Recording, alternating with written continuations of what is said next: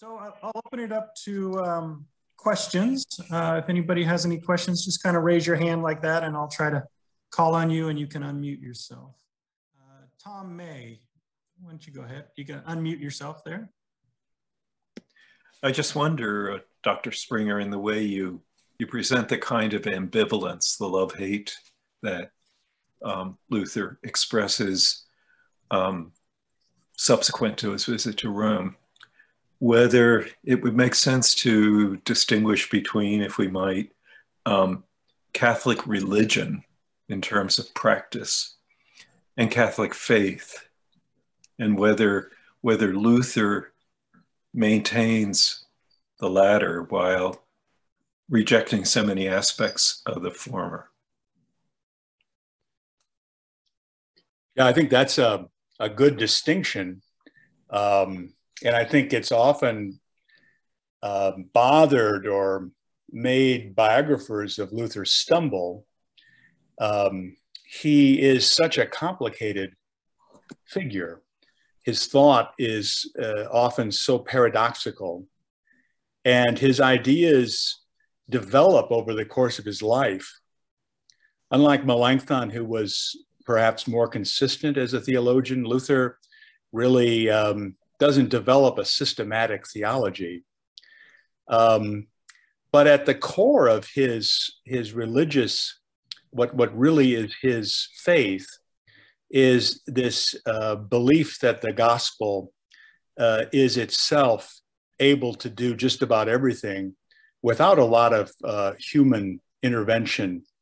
Um, and I think that that maybe that principle animates a lot of what he has to say and, and informs a lot of his dissatisfaction with the, the elaborate superstructure that had been built over the foundation of Christian faith over the centuries, um, including things like indulgences or, or pilgrimages, which actually got in the way uh, of the very thing that the church supposedly was trying to promote, namely repentance and faith and, and belief in the gospel.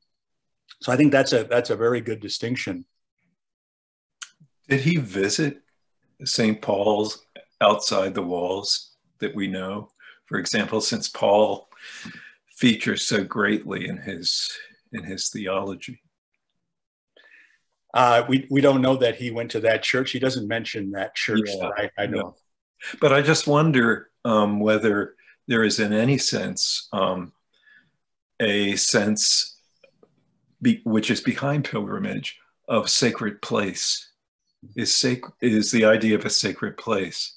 And I, I, have to add parenthetically think of how many people made luther pilgrimages in 2017 yeah uh, i think um, something like um, 2 million people went to wittenberg in 2017 so what would luther, know what luther would have thought of that he does mention the um, the tre fontane which is farther down the Appian Way from uh, St. Paul's, outside the walls. Right. Um, and um, he mentions the fact that the legends about Paul's death, where his head is supposed to have bounced three times after he was decapitated, creating three fountains each time it hit the ground. He calls that all a damnable lie, or, or he, he has very strong language about that particular legend. Uh, nonetheless, he he has absolutely no doubt that Paul died in Rome because in the in the last chapter of Acts it seems clear that that's the case. Right. He wrestles with the, the, question of Peter's martyrdom in Rome throughout his life, uh, and he he can't quite make up his mind. Uh, many of his contemporary reformers believed that Peter had never been to Rome, um, but there was there were so many legends and so many uh, accounts of specific accounts of what happened to Peter in Rome, including the church of Quo Vadis outside of Rome. Um, the um, um, I don't think he could ever quite shake the idea that um, Luther was that that Paul was that that Peter was martyred there. Um, by the way, I got the the Appian Way is where Quo Vadis is. The the the road towards Ostia is where uh, St. Paul's is. Just to get that clear. Uh, I don't know how many of you have been to Rome, but I don't want to give you any any wrong information. It's it's um, it's well worth visiting if you haven't been there to visit the catacombs and to uh, see the sites that that Luther says that he saw. Um, I wish that we had a, a bigger and and more full account of what exactly he was doing while he was there, but we can still sort of piece together uh, some aspects of what he saw. He talks about the Pantheon, for instance, the Colosseum. He mentions uh, San Pancrazio, uh, but he doesn't mention St. Paul outside the walls. Okay, uh, looks like Norton Wheeler has a question there. If you can unmute yourself, Norton.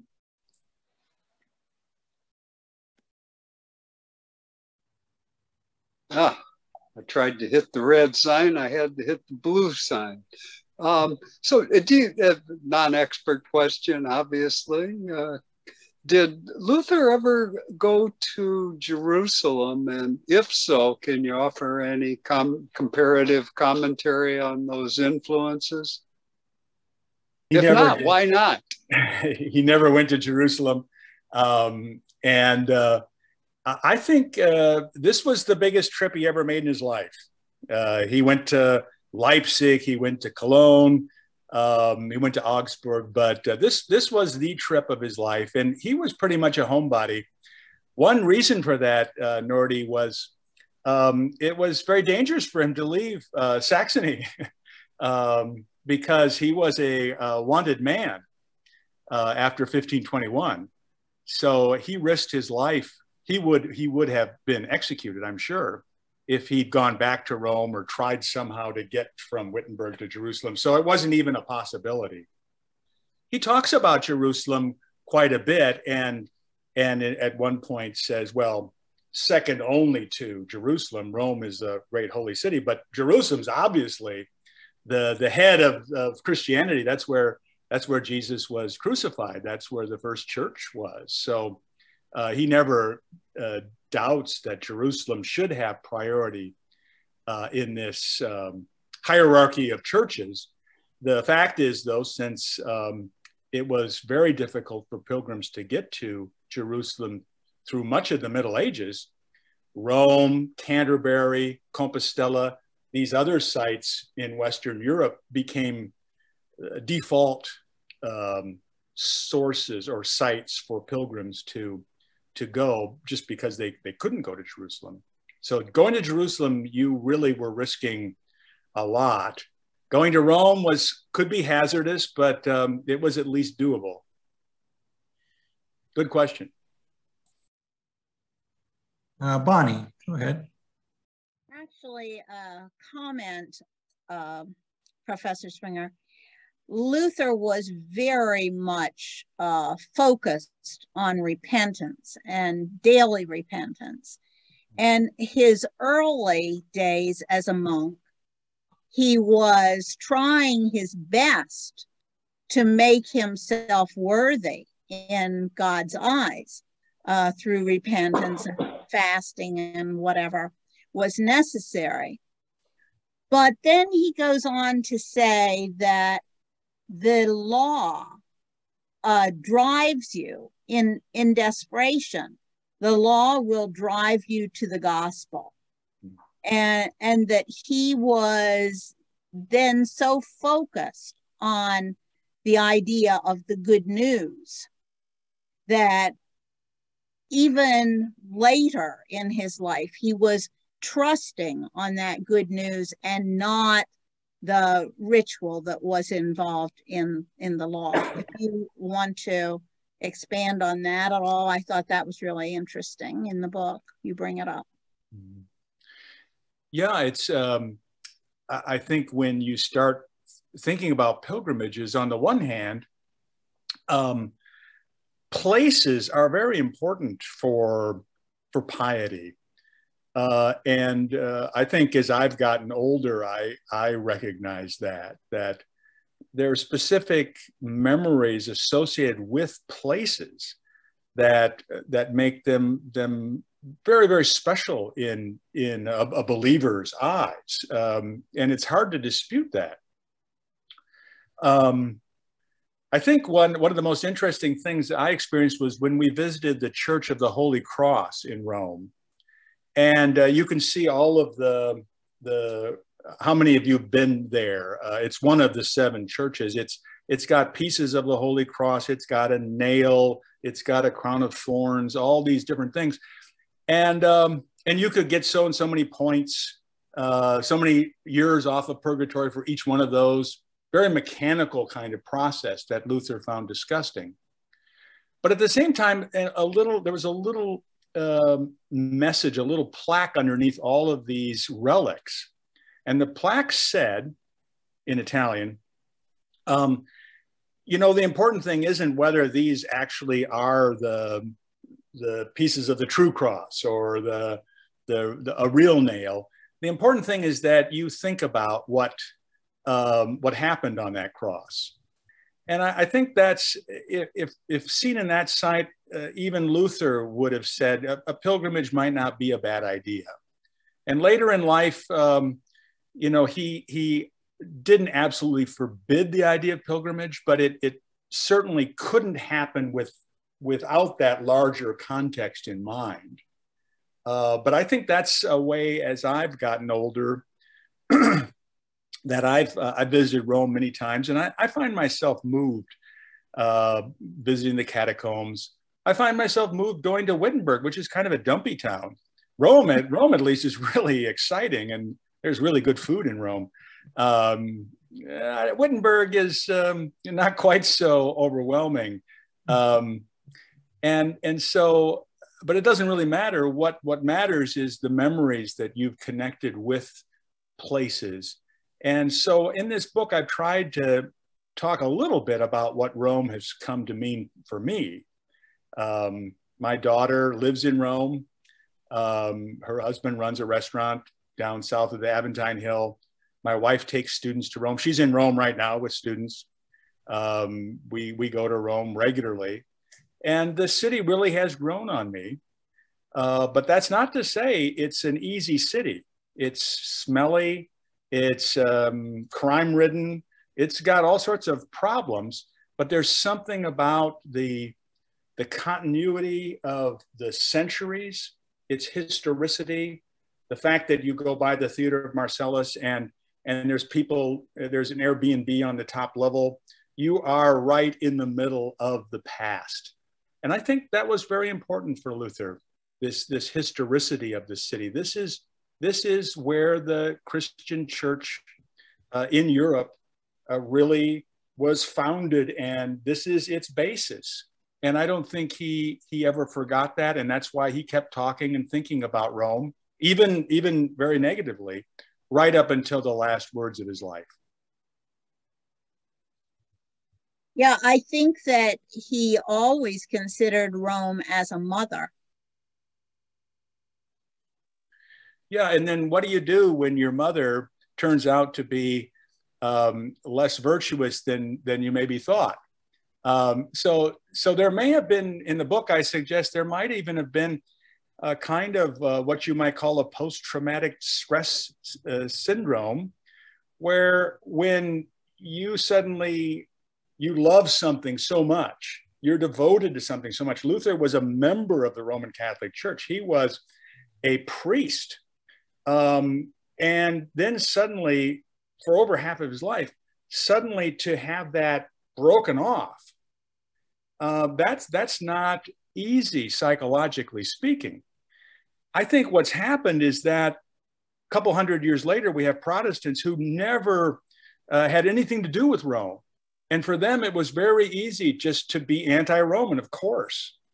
But for Luther, Luther was anti-Roman. There's no question about it. He says some terrible things about Rome, and he means it. But it may be the same kind of angry things that a teenager says to his mother or father when, when things aren't going right, and he discovers that his former heroes are have feet of clay. Uh, so a great sense of disappointment um, and frustration is, there, uh, I think, on the part of Luther, it, that you may not see that uh, really in later Protestants because they didn't have that close relationship with this holy place. I think Thank that's you. I think that's a great point because you know they say the opposite of love is not hate; it's it's apathy, right? So he's not apathetic towards Rome at all. No, he's not. um, does Bernie, am, am, I or Helga, am I seeing your, your hand raised there? First of all, thank you for a very informative and interesting talk. My question is the the um, the legends and the rituals, you know, climbing the Scala Sancta, saying the saying the Our Father. Where did those come from? Was there some sort of, you know, body that was saying, you know, pay this much and go here and this is what you'll get? Was there any sort of table of regulations or, you know, having been a tourist, you get off the you get off the train and you're immediately assaulted by all sorts of people trying to give you tours. And so I'm just curious as the basis of some of these uh, mythological things that Luther was debunking later. Yeah, there's there's some um, uh, long-standing legends, um, many of them uh, connected with these relics that end up in Rome uh, going all the way back to Constantine's mother, who brought the true cross back to Rome. And over the years, all sorts of things show up in Rome, and and Luther and others make fun of this.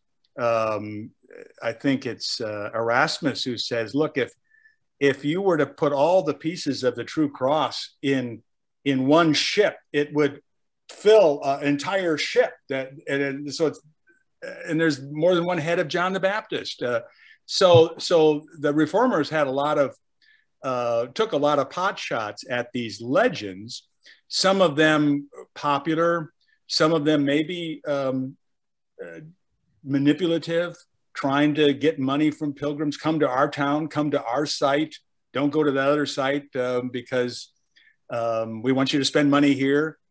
Um, and what body did this? I, I imagine it's the, the Curia, the over time though i think this the, these these traditions did evolve and by luther's time they'd reached kind of a a point where it was becoming absurd and and certainly as as uh, bonnie was saying before when when these pious exercises become clearly just a way to make money and there's no real repentance involved it, it's atrocious from from any spiritual perspective I mean, Ignatius Loyola had spiritual exercises, but they were they weren't based about money. They were they were exercises designed to help promote spirituality.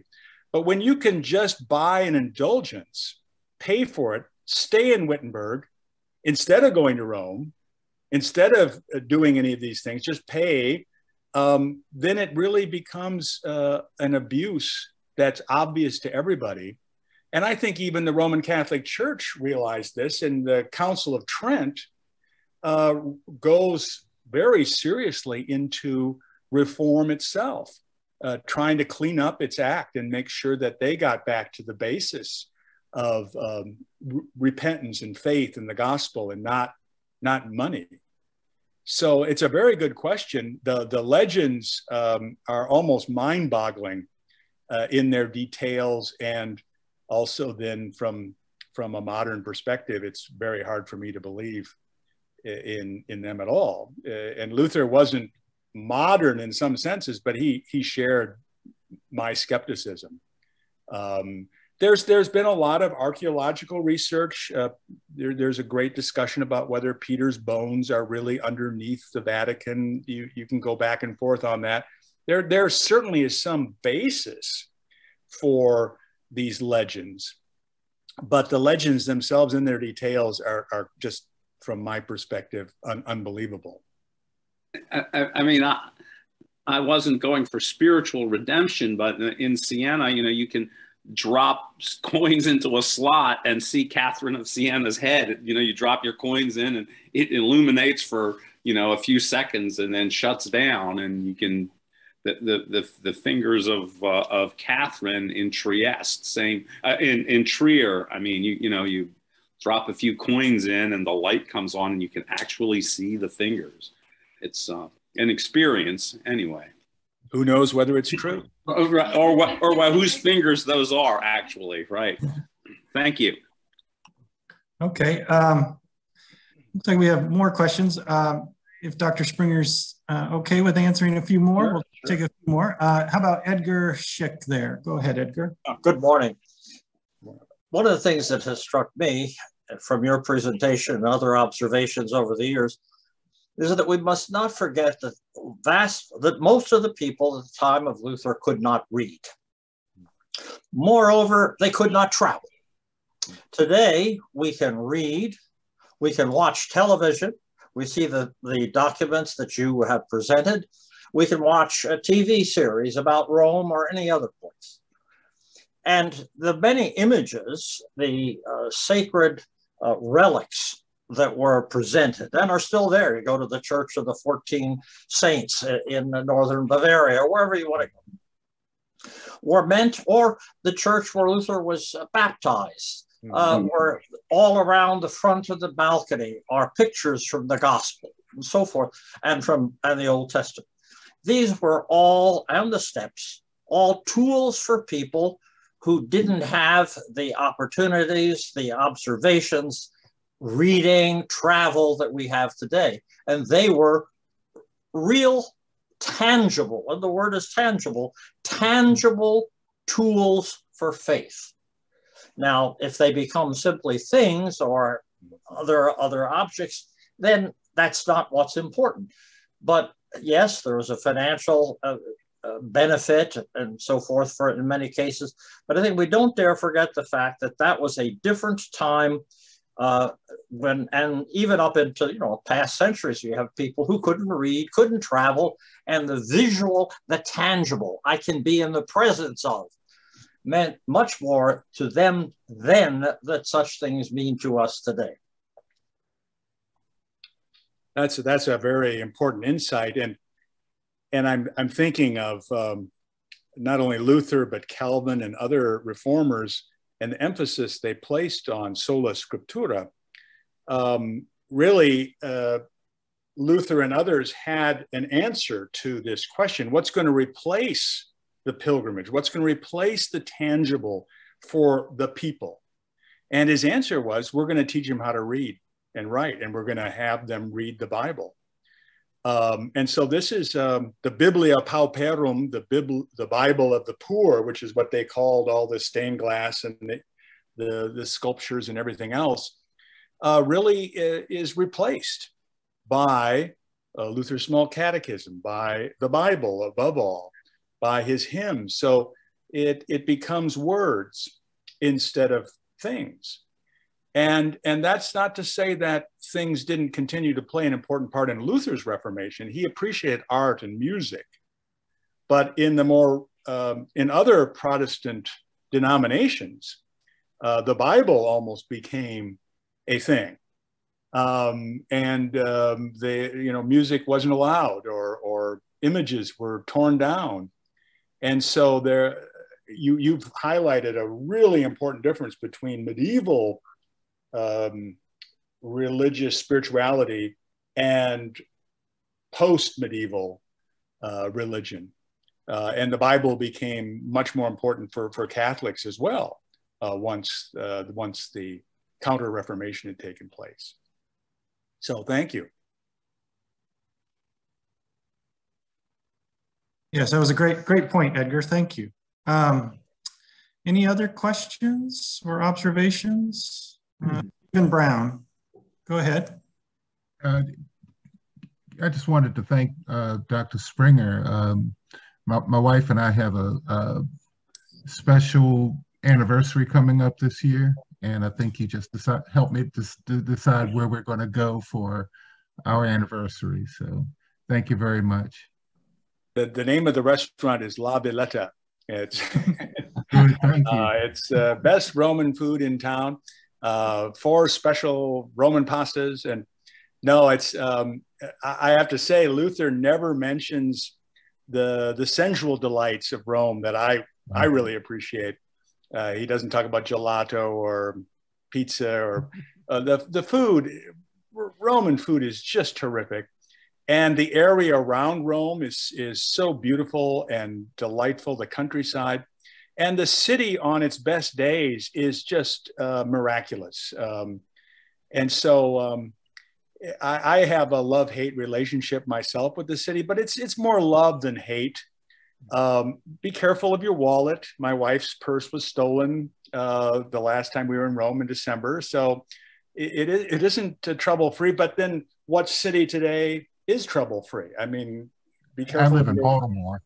Yeah, be careful of your wallet in St. Louis too. So, um, so like any other city, it it can uh, turn on you. Uh, but um, still, I think it's a great place to vacation, and it's it's uh, the eternal city. Uh, mm-hmm. I, I, was interested to read about Freud uh, and Carl Jung, both psychologists who who had real trepidation about visiting the city. They just couldn't. Uh, it was it made them nervous, and part of what made them nervous was the the all of the the deep archaeological uh, depths of this city, like like a human being. All these memories of childhood, and and and it's just uh, unlike other cities like London or Paris, uh, Berlin. Also fascinating cities, but they don't have this continuity of the past blending into the present. And so it's a great city to visit, uh, especially if you're interested in in history. Mm-hmm. Uh, but Luther, I think at this stage in his life, didn't care uh, wasn't thinking much about uh, scenery or tourism or culinary delights. Uh, he walks through the Alps, never mentions uh, that he's taken with the beauty of the Alps. Um, he, he, just says, "Well, I, I, we took the safest route through the Alps, uh, and boy, it sure would be hard to farm there." Um, he doesn't. Uh, he, doesn't. he's not a tourist. In other words, he's he's a pilgrim and I imagine you might be uh, a little combination of both. But uh, he he he he. Uh, I think later in life, if he'd visited again, he might have spent more time uh, touring. He does visit the Forum, the Colosseum, the Pantheon. These are these are not things that maybe your ordinary Augustinian monk would would visit. And I talk about that in the book because I think that's part of his interest in in the larger city of Rome, not just Roman Catholic Rome, but the Rome of the Caesars. And so he has this deep and abiding interest in the classics, which is another reason that the city continues to resonate with him uh, right up to the end of his life. Well, I, I enjoyed your, your lecture tremendously, and thank, thank you. you. very much. I would just like to say again, thank you to Dr. Springer. Um, and if you enjoyed today's lecture, like Bonnie said, please keep an eye out on the um, website for more upcoming events. Um, and please keep us in mind, um, you know, normally we would we would meet in person and we would charge a registration fee for today and that sort of thing. Um, so, so please think about uh, giving uh, to the Gritsch Fund. It helps us have programs like this and to support uh, our, our, Reformation Studies Fellows uh, as well. Um, you can uh, if you want more information about that, visit the website or you can uh, contact me or Bonnie uh, via email. Uh, we're happy to, to give you that information. This was our first virtual event um, and we were quite nervous, uh, but thanks to Randy and Helga and, and Bonnie and, and others, uh, we were able to pull it off. Um, and so we thank you for that. And then with that, I'll turn it over to Bonnie to, to say farewell. So once again, Dr. Springer, thank you so much it was enlightening and it was delightful and for everyone bearing with us in this venture into the Zoom world.